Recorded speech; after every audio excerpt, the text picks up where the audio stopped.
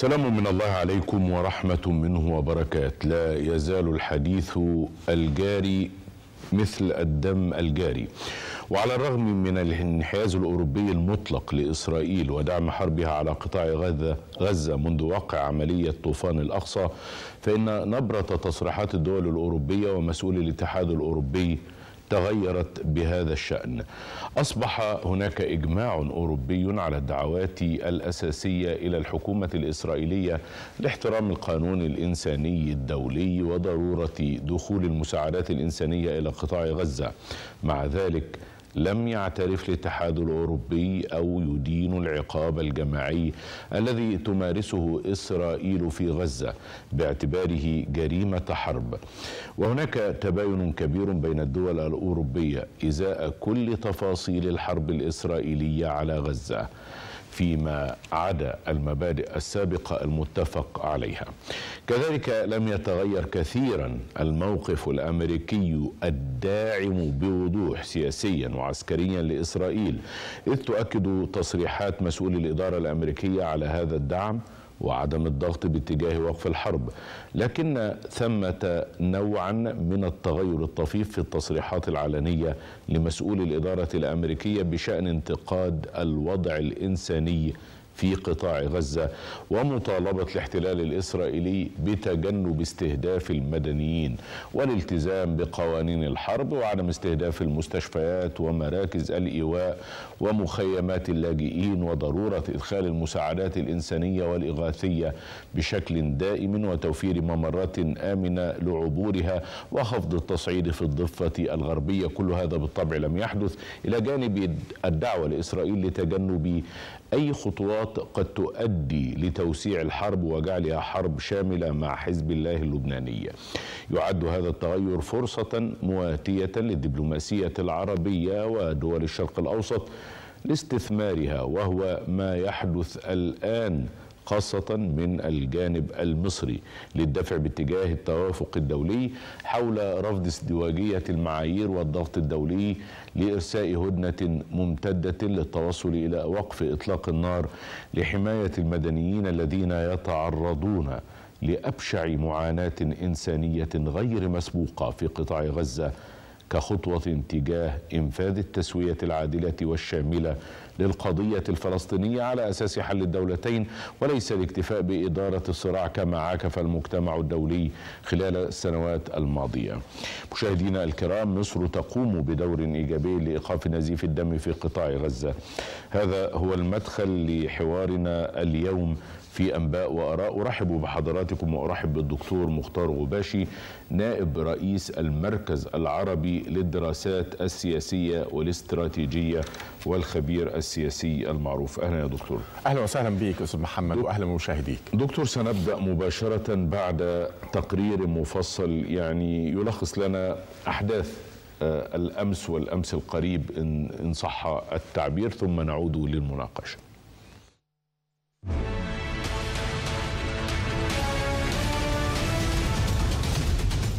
لم تكن الجهود المضنية التي تبذلها مصر للتوصل إلى وقف إطلاق النار في غزة للمرة الثانية غريبة أو جديدة على مصر إذ هي دائما كانت وستظل التي تحمل هموم ومعاناة الشعب الفلسطيني في قلبها وعقلها. ولا شك في حقيقة أن مصر هي أكثر من دافع عن الفلسطينيين منذ عشرات السنين. وكل من قرأ التاريخ المعاصر لمنطقة الشرق الأوسط وللقضية الفلسطينية يعرف تلك الحقيقة جيدا. وهكذا فإن إشادات قادة العالم بما بذله الرئيس عبد الفتاح السيسي منذ تفجر الأوضاع في غزة جاءت لترسيخ هذه البديهية التاريخية وهي أن مصر هي أول من يهب لإنقاذ أرواح الفلسطينيين. إن هذا هو قدر مصر وهذا دورها الذي لن تتنصل منه أبدا. ولعل الذين تابعوا الخطوات التي اتخذتها القيادة السياسية المصرية يدركون مدى الصبر والذكاء السياسي والحنكة الدبلوماسية التي اتبعتها هذه القيادة لتحقيق الهدنة الأولى بعيدا عن الانفعال الصبياني أو التهور الذي يضر ولا ينفع. ونعرف جميعا إصرار مصر على عدم تهجير أشقائنا الفلسطينيين من غزة تهجير في ذلك تضييعا للقضية الفلسطينية كلها. وهو موقف سيظل التاريخ يذكره لمصر. كما سبق وذكر لها آلاف المواقف البطولية لمصلحة الشعب الفلسطيني. وربما يكون مفيدا في هذا الشأن التذكير بالدور الذي قامت به مصر في تطبيق وإنجاز شروط هذه الهدنة الأولى خاصة ما يتعلق بإدخال المساعدات لأهالي غزة أو في مسألة تبادل الأسرى بين حماس وإسرائيل. وهكذا فإن مصر بقيادتها السياسية الحكيمة ستبقى هي الطرف الأهم في حل أزمات المنطقة سواء في غزة أو في غيرها مما يرسخ حقيقة نجاح الدبلوماسية المصرية المتوازنة والعاقلة والرصينة. في النهاية لعل الدرس الأهم المستخلص من الحرب الدائرة بين قوات الاحتلال الإسرائيلي والفصائل الفلسطينية بعد عملية طوفان الأقصى هو أن القوة والعنف لا يمكن أن يحقق الأمن أو الاستقرار. وأن سياسة الأمر الواقع والتهويد ومصادرة الأراضي والعدوان على الفلسطينيين والممارسات التي يقوم بها المستوطنون المتطرفون ضد الفلسطينيين في الضفة الغربية والانتهاكات المستمرة في المسجد الأقصى ومصادرة الأراضي وهدم البيوت والاعتقال المتواصل لا يمكن أن يحقق الأمن لإسرائيل بل يغذي بيئة العنف والصراع الذي يدفع ثمنه المدنيون الأبرياء من النساء والأطفال. كما أن تواري القضية الفلسطينية وغياب أي أفق للتسوية قاد إلى دوامة العنف المستعرة منذ سنوات بين الجانبين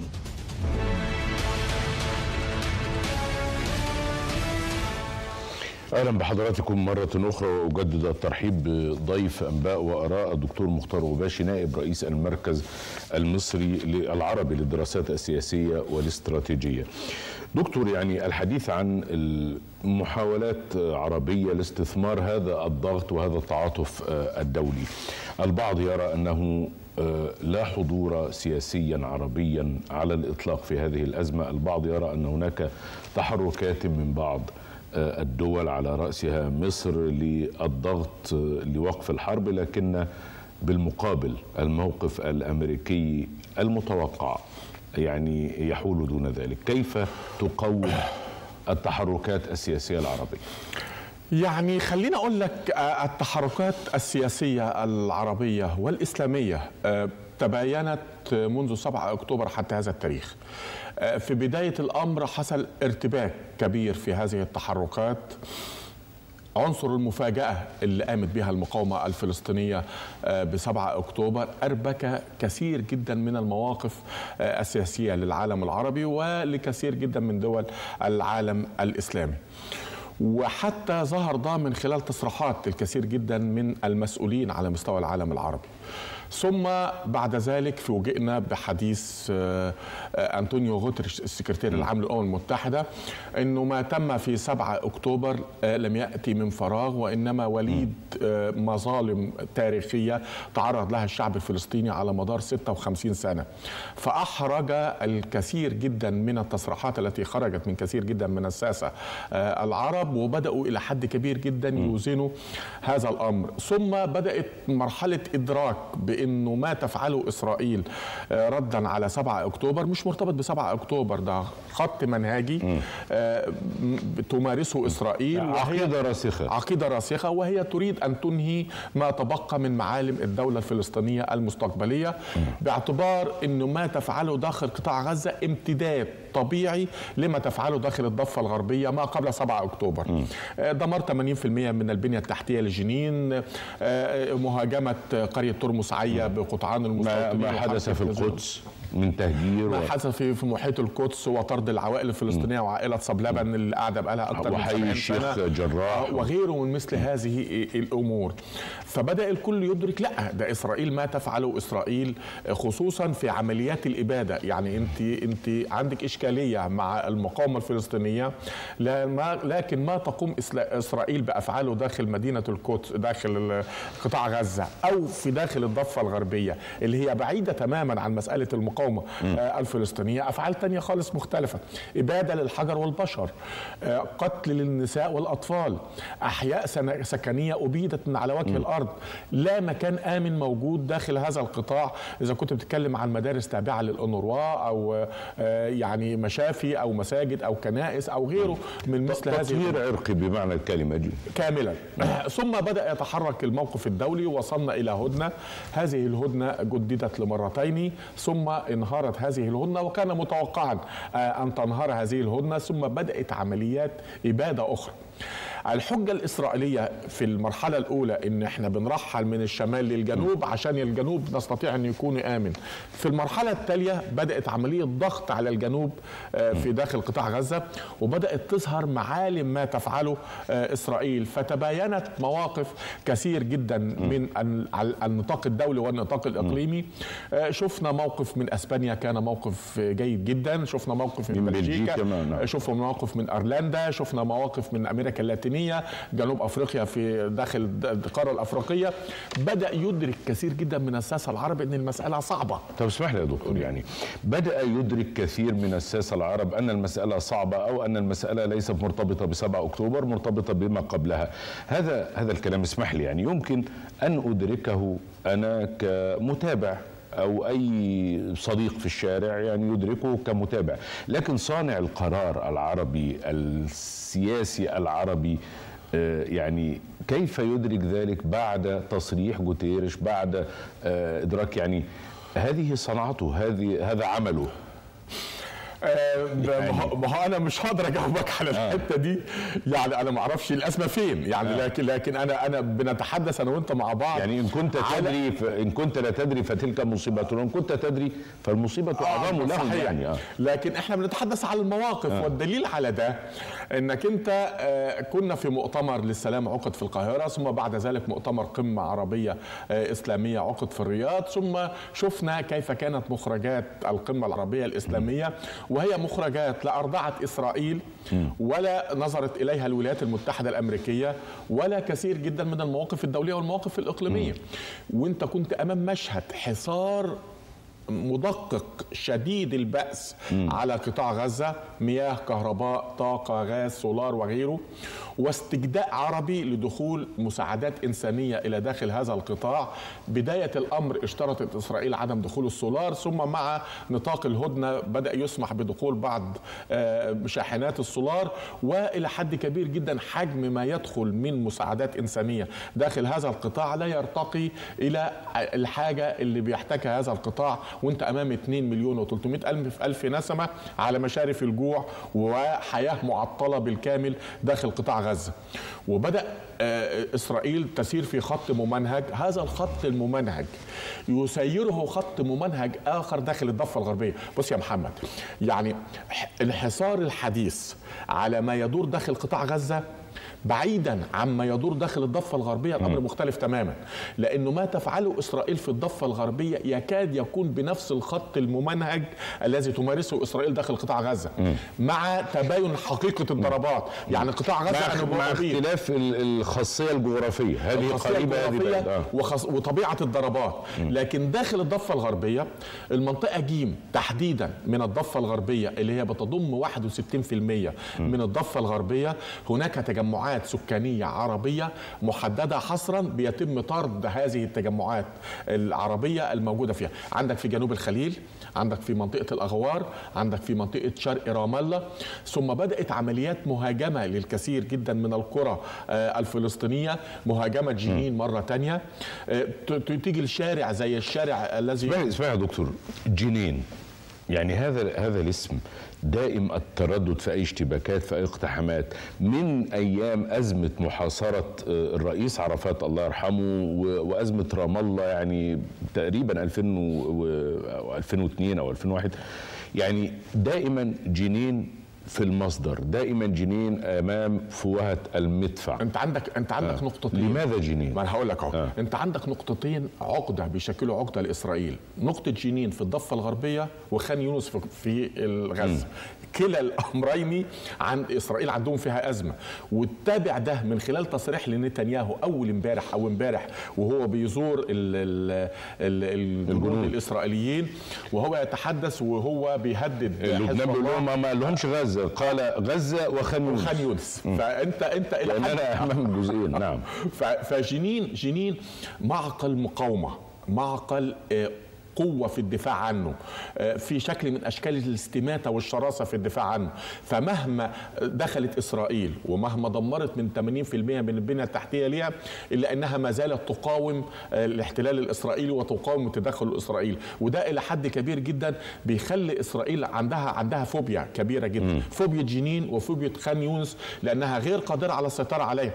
ومن يتوقع ومن يستطيع أن يعني يتصور إنه بحكم الهلاك والدمار الذي تمارسه إسرائيل داخل قطاع غزة من إبادة أحياء. وتقارير أممية تتحدث إن 80% من السكان داخل قطاع غزة أصبحوا مهجرين وإنه أكثر من 60% من البنية التحتية لها ضاعت وانتهت ودمرت تماما إلا إن إسرائيل حتى هذا التاريخ لم تستطع أن تحيد رشقات المقاومة الفلسطينية داخل هذا القطاع ولم تستطع أن تصل إلى حقيقة أين جنود الإسرائيليين آه، الموجودين لدي المقاومة الفلسطينية. ولم تستطع إلى حد كبير جدا أن تسيطر على قطاع غزة وحجم الخسائر الليلية اليومية الإسرائيلية. نتيجة هذا الدخول البري إلى حد كبير جدا آه، ما هو معلن؟ يعني مزعج وما هو غير معلن مزعج للغاية. لأنه إسرائيل في هذه الحرب ودي كثير جدا من الخبراء تحدثوا فيها عندها قاعدة يا محمد بيسموها الطواف حول العالم. خلونا نتقيد بالروايه الرسمية والرواية الغير رسمية تترك لما بعد الحرب باعتبار الرواية غير رسمية فيها من الخسائر الإسرائيلية البشرية ومن العتاد العسكري داخل قطاع غزة كبير جدا ومهيب. وده بي- بيؤدي لك سر الضربات وقسوة الضربات الإسرائيلية اللي بتضربها داخل هذا القطاع.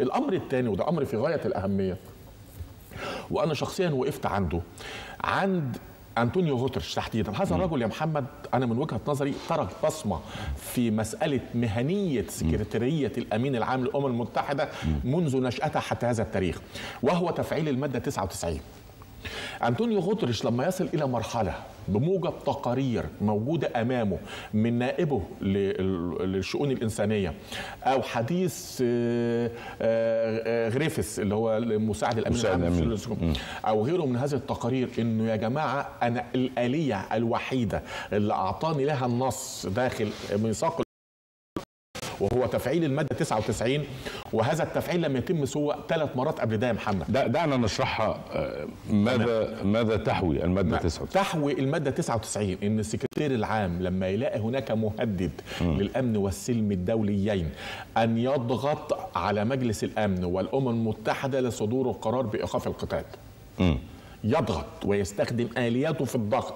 يعني لا يترك الأمر إلى نسبة التصويت ولا يترك الأمر إلى إرادات الدول. شفنا ده سنة 60 يعني يعلو أو يتعدى الفيتو؟ لا ما يعلوش ويتعدى الفيتو. هو هنا الفيتو يعطله. لكن معنى لجوء السكرتير العام للأمم المتحدة خلي بالك بعد لجوء السكرتير العام للأمم المتحدة إلى نص المادة 99 بدأت إسرائيل تتحدث ان الراجل ده بيهدد السلم نعم. والامن الدوليان وإنه عليه أن يستقيل. مش مش بيستقيل بس ده بتقول على السكرتير العام للأمم المتحدة إنه بيهدد الأمن والسلم الدوليان وعليه أن يذهب. وهنا وهنا لأنه تفعيل ده معناها هي رسالة للدول دائمة العضوية وللولايات المتحدة الأمريكية بأن السكوت على عدم تفعيل هذا النص وعدم ال- ال- ال- الت- التناغم مع رسالة السكرتير العام للأمم المتحدة هو بمثابة تواطؤ خلي بالك من دي تواطؤ من من هذه الدولة مع حالة ال- الجرائم ضد الإنسانية وغيره. ولما بتنظر لده هتلاقي سنة 60 لجأ لجأ لها السكرتير العام عشان الكونغو. سنة 79 عشان أزمة الرهائن الأمريكيين في إيران.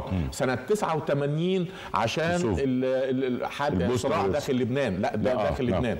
لا الثلاث حالات بس دول اللي لجأ إليهم السكرتير العام للامم المتحدة. ثم الحالة الرابعة نتيجة قسوة وشراسة ما تفعله إسرائيل داخل قطاع غزة لأنك أنت أمام قطاع يبات وأمام حالة هلاك ودمار ليس لها حل وأمام اصطياد لنساء وأطفال ملهاش حدود وأمام واقع صرخات تحت الأنقاض تشيب لها الولدان. دكتور دي كلها نحن أمور. نحن أمام قطاع يباد يعني جزء يزال من على الخريطة. منذ آه، يعني في الأسابيع الأولى للحرب صرح بن جفير وزير الأمن الداخلي ال- ال- ال- بتطرف شديد أنه يعني اللجوء إلى ضربة نووية. طبعا قامت الدنيا داخل إسرائيل عليه لأنه أحرجها أو أو. لكن بهذه الوتيرة المتصاعدة الانتقامية التي آه، تمتلئ حقدا آه، بهذه الضربات على المدنيين وعلى قطاع غزة لو استمرت الحرب خمسين آه، يوما أخرى أو أكثر. هل سيكون هناك قطاع غزة؟ آه بالتأكيد لا. بالتأكيد لا بس أنت أنت برضو تكون أمام برضو عنصر استغراب خلت المتحدث الرسمي الإسرائيلي يتحدث بانه الأرض التي تختبئ بها حركه المقاومة الفلسطينيه داخل قطاع غزة أرض فريدة من نوعها.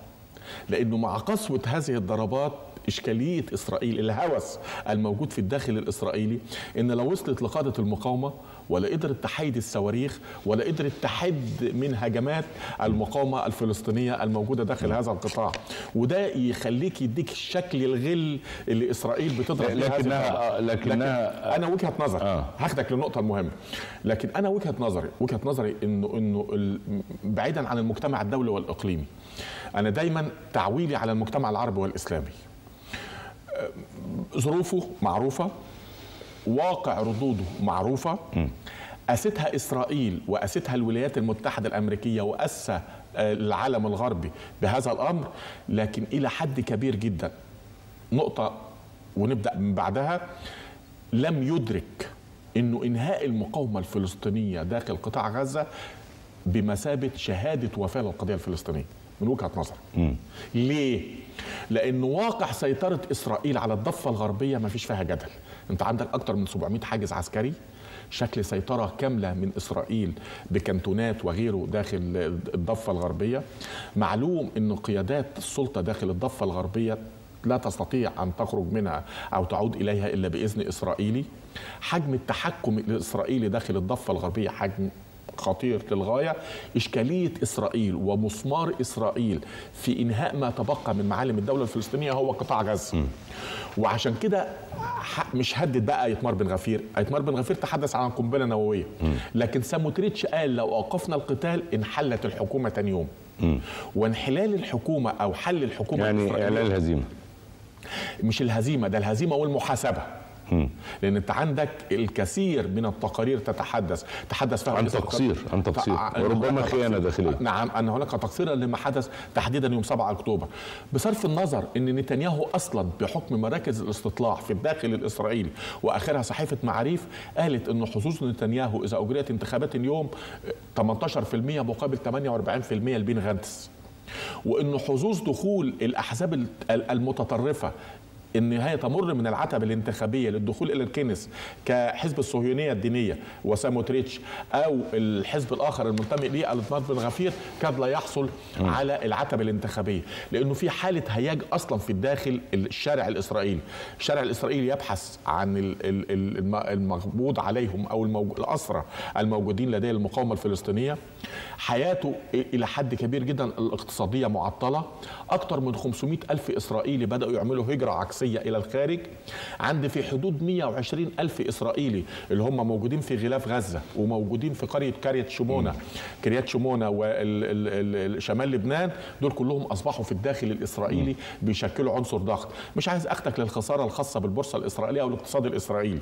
باعتبار إن هذه الخسارة تعوضها الولايات المتحدة الأمريكية والعالم. لكن في حالة غليان من وجهة نظري في الداخل الإسرائيلي لأنك أنت برغم مرور هذه الأيام وبرغم قسوة هذه الضربات وبرغم فقد أي تعاطف بأي شكل كان مع إسرائيل من قبل المجتمع الدولي والشعوب ما- ماليش علاقة بالحكومات إلا إنه آه، لم تستطع أن تنهي هذه الحرب ولم تستطع أن تسيطر على قطاع غزة. لكنها مستمرة في العدوان القاسي الشديد والإبادة. إذا آه، استمر هذا الوضع الحديث الآن عن آه، حشود أو تهجير للفلسطينيين من الشمال شيئا فشيئا باتجاه الجنوب باتجاه الحدود المصرية الدولة المصرية آه، موقفها واضح وعلني وصريح على لسان الرئيس عبد الفتاح السيسي. لكن أيضا هناك توجيه إسرائيلي وضغط اسرائيلي لتهجير الغزاويين. آه، يعني كيف تتوقع أن يتم الأمر؟ شوف يعني ال ال في رسائل وضحت وصلت إلى الولايات المتحدة الأمريكية. آه من مصر. من مصر. تمام. ومن الأردن. لأنه التهجير هنا إسرائيل وهي تريد أن تنهي ما تبقى من معالم الدولة الفلسطينية هي عايزة تعمل عملية تهجير نهائي لقطاع غزة.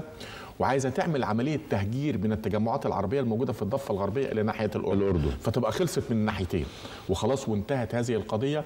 و و و ولكن أنا من وجهة نظري أن القضية حية وأن القضية لن تموت وأن المقاومة لن تنتهي. لأن ده أمر متجذر في أوساط الشعب الفلسطيني بكامله. إذا كنت بتتكلم عن الضفة أو بتتكلم عن قطاع غزة. الأمر الثاني وده أمر واجب إن إحنا نلفت النظر إليه إنه نحتاج خلال هذه الساعات إن لم تكن خلال هذه الدقائق موقفا عربيا اسلاميا يرتقي إلى خطورة هذا الفعل الإسرائيلي. يعني مسألة المسايسه جربناها. اللجوء إلى الأمم المتحدة وإلى مجلس الأمن جربناه. إحنا رحنا قبل كده عندنا 745 قرار من الأمم المتحدة. يعني. الموقف الموقف ال- ال- اللي حضرتك شايف يعني محتاجينه يعني. أنا واحد اتنين تلاتة. أنا شايف نعلو نعمل إيه؟ نعلو فوق الشجب والإدانة. آه. و... وألا نصل إلى الحد الأخير. يعني يعني يعني أنت أمامك الشجب والأدانة وأمامك الحل الأخير وهو العسكري. إعلان العسكري. أنا ما بين الأمرين أمور كثيرة جدا. مثل؟ عندنا الدبلوماسية الخشنة. لم تستخدم حتى هذا التاريخ. مثل. ولها أمثال في- كتير. آه. لا الدبلو- الدبلوماسيين يعرفوها يا محمد. آه ما إحنا يعني آه، أنا شخصيا لا اعرف آه. يعني الدبلوماسية الخشنة معروفة. عملتها جنوب أفريقيا وعملتها تشيلي وعملتها بوليفيا وعملتها كولومبيا وعملتها هندوراس. قطع العلاقات، طرد بسحب سفير طرد- ده. ممثل أو سفير. وه... وه... ودي الدبلوماسية الخشنة دي بتبقى رسالة إلى الطرف الآخر ورسالة إلى المجتمع المساند له والمؤيد له بان هناك موقفا متشددا. هناك طبيعة العلاقات الاقتصادية والسياسية آه، مع العالم العربي والإسلامي. لابد أن يكون لها موقف. هناك آليات آه، آه، بامتلاك مقدرات موجودة داخل الولايات المتحدة الأمريكية وداخل العالم الغربي عندنا أموال وعندنا قطاعات الولايات المتحدة الأمريكية لا تستطيع هل هل تستغنى عنها. تستطيع دولة عربية أو مستثمر عربي كبير أن يسحب آه، رصيده آه، في الولايات المتحدة في الولايات المتحدة هل هذا سهل؟ آه، هو هو ليس صعبا وليس سهلا لكن على الأقل التلويح به أو قطعه أو منعه أو الحد منه رساله. يعني ليه؟ يعني أنا عندي في حدود 252 مليار دولار و600 مليون سندات دين وأذون خزانه شهادات كده شاريها 11 دولة عربية من وزارة الخزانة الأمريكية. ده غير الودائع والاستثمارات. شهادات الشهادات دي فيها كلام. شهادة نسحبها من بنك أو شريك أقدر أعمل بيها حاجات. عندي في حدود 2 تريليون وربع مش معنى كده إن أنا بقول اسحب نسحب الأموال كلها. لكن أنت عندك أحيانا أمور تستطيع التلويح بيها أو التلميح بيها رسالة إلى الطرف الآخر. ليه؟ لأن أنا عندي مشكلة في هذا الصراع. التأييد بلا حدود والضعف بلا حدود. التأييد بلا حدود من قبل الولايات المتحدة الأمريكية والعالم الغربي يعني هبوط آه، آه، ريش السوداك بطائرته إلى مطار تل أبيب ونزوله من المكان المخصص لإنزال المعدات العسكرية. ثم من ثلاث أيام يا محمد هناك آه، طائرات استطلاع إنجليزية بدأت تطوف فوق آه، المجال الجوي لغزة والبحر الأبيض المتوسط لمراقبة المسألة الموجودة هناك وطلعت تصريحات وقالت إن هذا الأمر من قبل إنجلترا. ده تدخل صريح آه، في هذا الصراع. العتاد العسكري اللي ذاهب من الولايات المتحدة طب الأمريكية يعني الطائرات الطائرات البريطانية أو ال... هذا الاستطلاع هذا التجسس الواضح المعلن عنه لم يغطي قطاع غزة فقط يعني غطى آه، ساحل أو غطى شمال أكثر من دولة. يعني آه، آه، كنا نتوقع أن يعني يتم معارضة الأمر؟ يعني مفترض أن نعارض الأمر ومفترض ده من العالم العربي ومفترض أن يكون هناك رد فعل.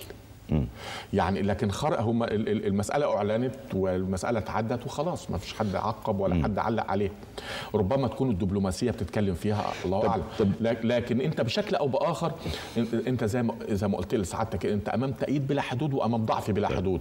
التأييد اللي بلا حدود ده عسكري ومالي وتقني وفني. آخرها زيارة رئيس شركه بلاك ووتر على نعم هو هو لدرجة أن البعض يعني قال هي ليست حرب إسرائيلية على غزة هي حرب أمريكية على غزة. صح- أمريكية غربية. في الوقت إنك أنت في الاتجاه الآخر عندك أزمة في دخول المساعدات الإنسانية أصلا. عندك أزمة بإنك أنت لا تستطيع إنك أنت تدخل ما يحتاجه قطاع غزة من السولار والغاز. عندك أزمة بإنك أنت تنقذ آه، ال- ال- الجرحى والمرضى الموجودين داخل قطاع غزة طب واللي تعدوا. أعود للنقطة الأساسية. نحن أمام موقف مصري واضح قوي وإرادة مصرية بعدم السماح بتهجير الفلسطينيين وتصفية القضية الفلسطينية. وأيضا أمام رغبة إسرائيلية آه، وخطوات عملية على الأرض لتهجير الفلسطينيين إلى آه، آه، إلى مصر. أي الإرادتين ستكسب؟ أنا هقول كلمة خط أحمر تمام. التي أطلقها سيادة الرئيس وأنا عندي خط أحمر خرجت من دولتين خرجت من سياده من سيادة الرئيس صراحة إنه مسألة التهجير القسري هو بمثابه خط أحمر مصري ولن تسمح مصر به ولن تسمح بتصفية هذه القضية. وخرج من الجانب الأردني وزاد على دي وقال لك حتى بمثابه إعلان حرب يعني الصفدي وزير الخارجية الأردني قال خط أحمر وده بمثابه إعلان حرب آه، بالنسبة لنا وده برضه مش مقبول. ليه؟ لأن قيل القيادتين أنا لما بكلمك عن الموقف الدولي يا محمد أنا بستثني الموقف المصري والأردني لأن الموقف المصري والأردني موقف جوار وموقف معني- وله خصوصية. وله خصوصية, خصوصية. وموقف معني يعني بشدة بهذا الصراع. لكن أنا بحدثك على المواقف الأخرى لأن الصراع من وجهة نظري تحميل هذا الصراع على الموقف المصري والأردني فقط مظلمة. أنا من وجهة نظري هذا الصراع يتحمله جموع العالم العربي وجموع العالم الإسلامي خصوصا أن ردود أفعالهم إلى حد كبير جدا هذه هذه الجموع آه، العربية التي يعني نطالب أو نتمنى أو نرجو أن يكون لها موقف أكثر قوة وم- وموقف. هل كما يشاع أو يثار أن هناك أطرافا عربية يعني تؤيد تهجير الفلسطينيين إلى آه، الغرب ناحية مصر أو إلى الشرق ناحية الأردن؟ صعب قوي قبولها أو صعب جدا تصورها أو صعب جدا أن نصل إلى مرحلة نتصور فيها أن هناك اطرافا تساهم في تصفية هذه القضية. اما مساله يا محمد أنا أنا شخصيا مش قادر أتقبلها ولا قادر أعقب عليها. ليه؟ لأنه قضية فلسطين هي قضية القدس والقدس هو العالم العربي والإسلامي.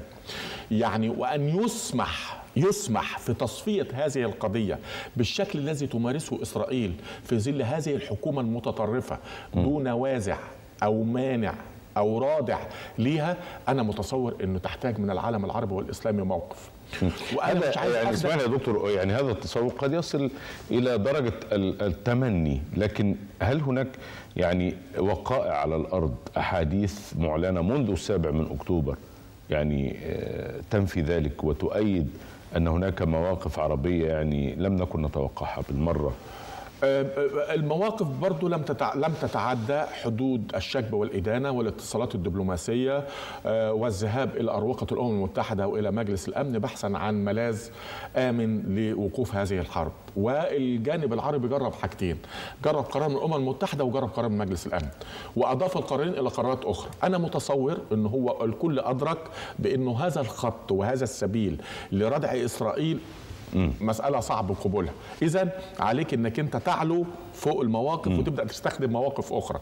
السؤال اللي بيطرح نفسه الجانب العربي والإسلامي. جا- بعيد عن المواقف الدولية المواقف الدولية معروفة. أو التعاطف الدولي معروف.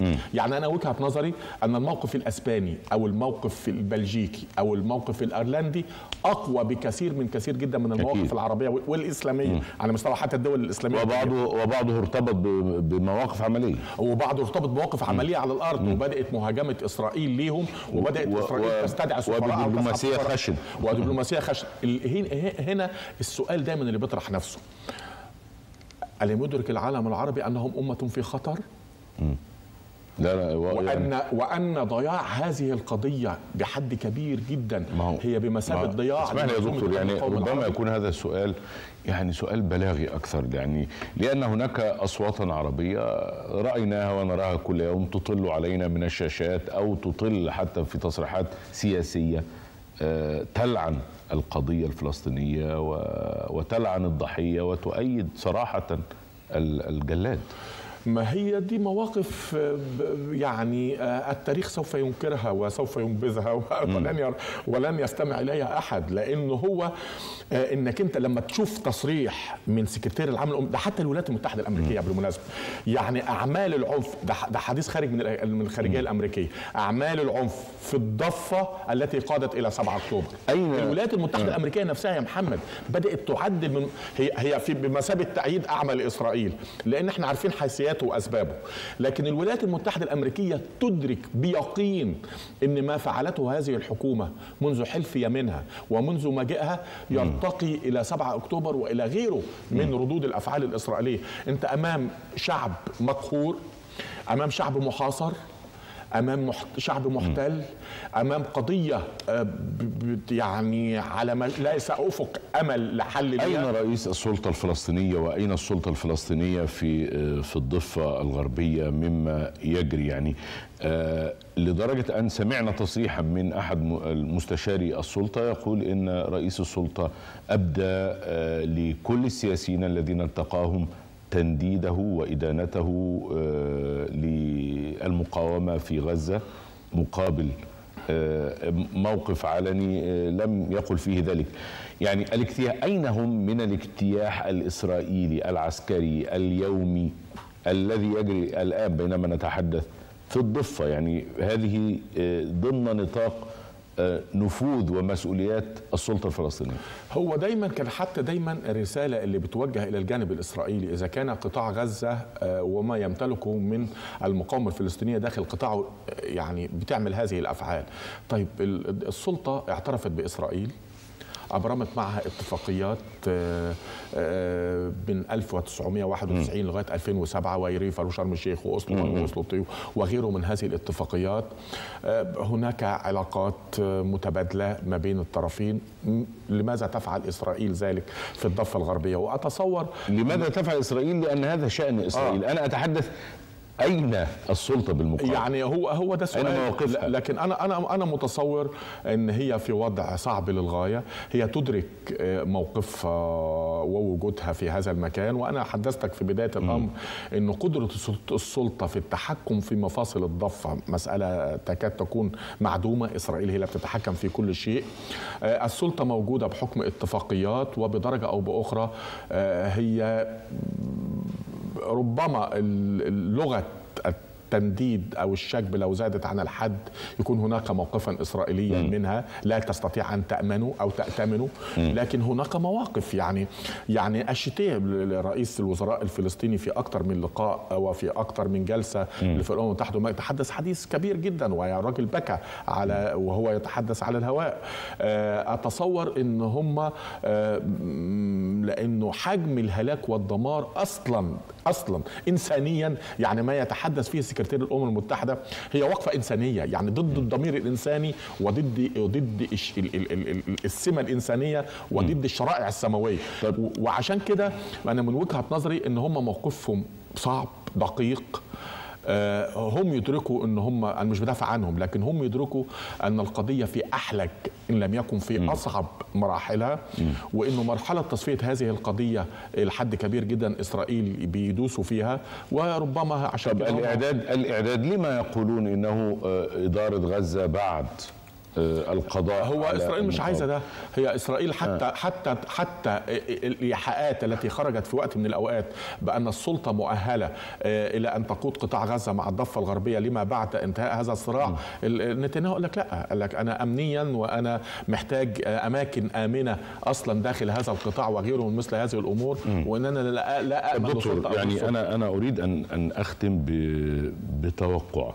يعني آه، المشاهدون آه، الك- الكل يعني أين متى ستتوقف هذه الدموية؟ آه، متى ستتوقف هذه الحرب عندما تدرك الولايات المتحدة الأمريكية وإسرائيل أن مصالحهم في خطر وأن علاقتهم بالعالم العربي والإسلامي على المحك آه، وأن هناك وقفة حكومية بجانب الوقفة الشعبية ترتقي إلى خطورة ما تفعله إسرائيل وأن هذه القضية لن تضيع وسوف تظل حية والقدس لن تسقط.